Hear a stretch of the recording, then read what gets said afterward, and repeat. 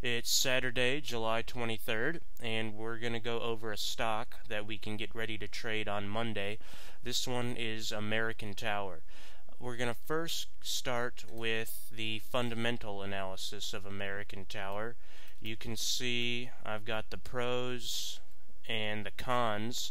You can pause the video and read these uh, one by one, but the main ones I wanted to go over on the cons side of the equation are American Tower's high debt, which I'll get into more detail later, and also its very high multiple.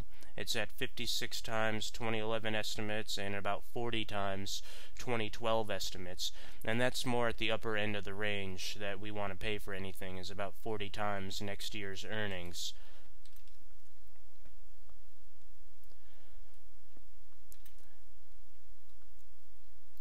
Here, it's PE is the main one. You can go over all these questions fundamentally to see what this stock does.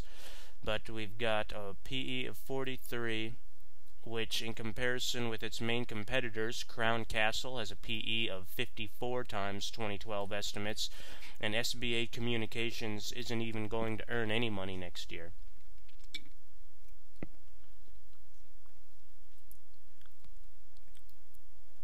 Its PEG ratio is kind of high. Uh, 2 is the most we would really want to pay. So again, the main point being that this is an expensive stock, but we can see it's expensive for a reason. Because if you go over how it's performed in the past 12 months, it's got uh, a 12% return, 6 months a 7% return, 3 months a 6% return. So it has outperformed the index, the S&P index.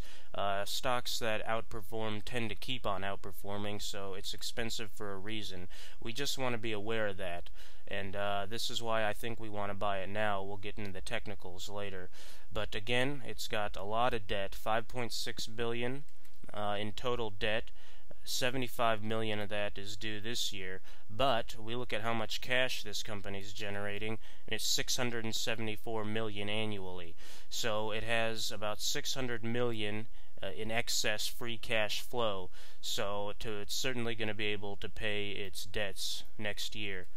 Um, we just want to keep that high debt in mind because next year uh, will it have to sell any assets to pay its debt in the future? Uh, we don't know, but in 2012 I really don't think I'll still be holding this stock anyway. So for right now it's alright. Now let's get into this technically.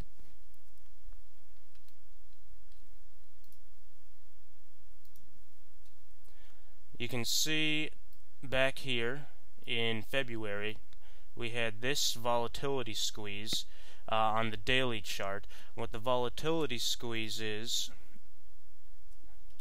is just these Bollinger Bands. You can see how tight they got right here and then you can see resistance right here flag pattern let's clean this up resistance this little flag pattern, then the breakout that led to this rally. Uh, we were in on this rally. Uh, this was kind of a short squeeze, obviously, because this stock went up about, oh, 10 15% in a couple of days only. Then uh, we sold it right here after this breakdown uh, out of this big, huge last kind of capitulation buy by the shorts. Uh, when you see something that breaks out like this and has this big green candlestick right here, if it's going to keep on going higher, it's generally going to hold in the upper 50% uh, upper half of the candlestick. And you can see on this candlestick right here, it broke below around this 50% line. So that's when we decided to sell it. And then on this day right here this big spike down on massive volume that was when AT&T announced that they were going to buy T-Mobile and the market thought that the consolidation in the carrier space was going to lead to uh, lower revenues for American Tower because there would be uh, lots of uh, consolidation and uh, synergies between T-Mobile and AT&T so both of those companies wouldn't have had to lease as much space from American Tower. But we can see what's happened uh, since then. We had another failed breakout here. This gap down I don't know what that was about. But uh, it remains that we're here again and what we're getting is another little volatility squeeze right here. You can see the Bollinger Bands are getting pretty tight uh, as opposed to right here when they were very wide. These Bollinger Bands are just a measure of volatility. So when they're really wide from top to bottom, that uh, means that there's lots of volatility. And conversely, when they're really tight, like they were back here, and when they're starting to get just right here, um, that's um, indicating low volatility. So the reason we want to get in this right now is you can see this setup right here where we've got a convergence of the 50 day moving average, the 100 day moving average, and the 200 day moving average. So this is what we want to see. We want to see the price above the 20 day moving average. That's this middle Bollinger Band. We got the price above the 20, which is above the 50, which is above the 100, which is above the 200 day.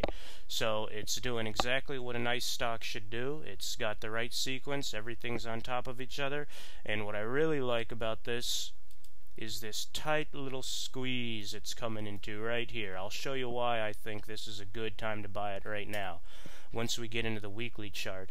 But you can see what happened is we got this big move up to fill this gap here. That's what gaps do. They get filled.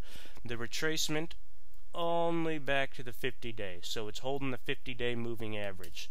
We look at the stochastics. We're just getting this stochastic crossover where this yellow line is just about to cross over the white line. That's the percent K is about to cross right over this percent D. Uh, it's a Larry Williams stochastics. You can read more about that in John Murphy's book, Technical Analysis of the Stock Market. Then also, what I like is we've got this MACD crossover. This is a MACD histogram I've got. Uh, you can see when the MACD is just about to cross over, it's going to go from red right here into blue. So we can see what happens when we've got the blue here, big blue ones, the stock goes up, okay? Stock goes up, big blue. Uh, when the stock is going down, these red MACDs are about at the maximum uh, peak here. This is a trough. The maximum trough, we get a low in the stock. The maximum peak corresponds with a maximum uh, peak in the MACD. So we can see as an indicator of future strength that right about here we're just getting the crossover in the MACD combined with just about getting a crossover in the stochastics and if they do crossover they haven't yet but they look like they're just about to right now we get a a higher low in the stochastics right here than uh, right here. So all these are good. We got a low here, a higher low, a higher low still, and a higher low still. So our analysis is that we think this is about to cross over. We'll go into the weekly now.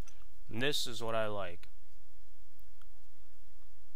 This is a just a really nice uptrend. It's holding its uptrend line. This goes all the way back to February, March of 09. Now this actually bottomed uh, in December of 09, uh, December 08, uh, way before the market bottomed. So remember the market bottomed in March 09. So this is the weekly, but this is what I like about it. Let's zoom in. We can see what happened when we got the Bollinger Bands right here. We got high volatility, which leads to low volatility, which again leads to high volatility, measured by the Bollinger Bands. You can see that they're really wide right here, which again leads to low volatility, which leads to uh, a bit higher volatility. But that's where we are right here. We had a bunch of sideways consolidation. We get the uptrend, consolidation, uptrend, consolidation in correspondence with these Bollinger Bands.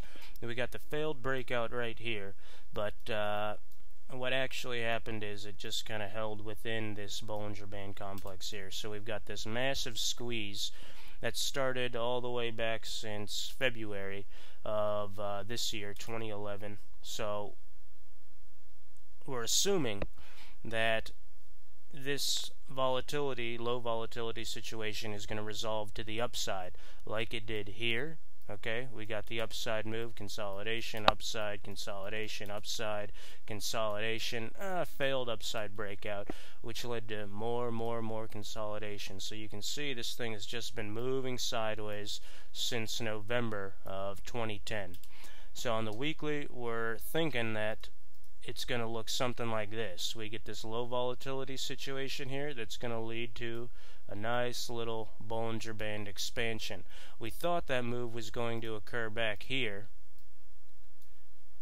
Something that looked more like this, uh, but we didn't get that. So I think that this time it's really going to be a successful breakout. And the Bollinger Bands are going to kind of expand just like this then the stock is going to kind of maybe do something like this and just ride up this Bollinger Band and be, oh, a $70, $75 stock in a couple months.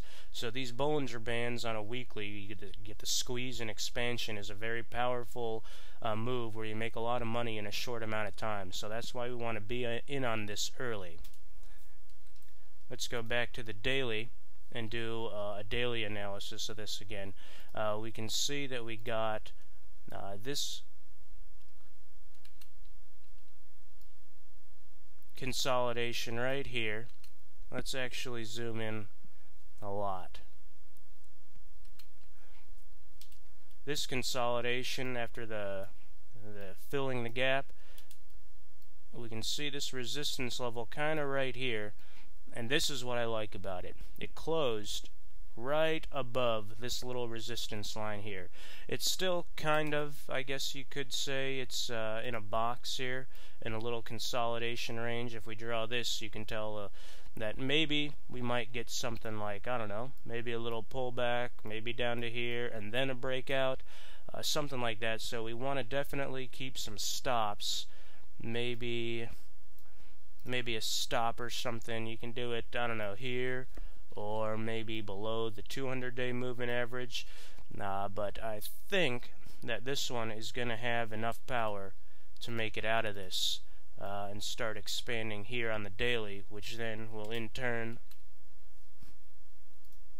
lead to an expansion here on the weekly. Uh, so that's really really what we want to look for is this kind of expansion. It's going to do that and then ride up the upper Bollinger Band.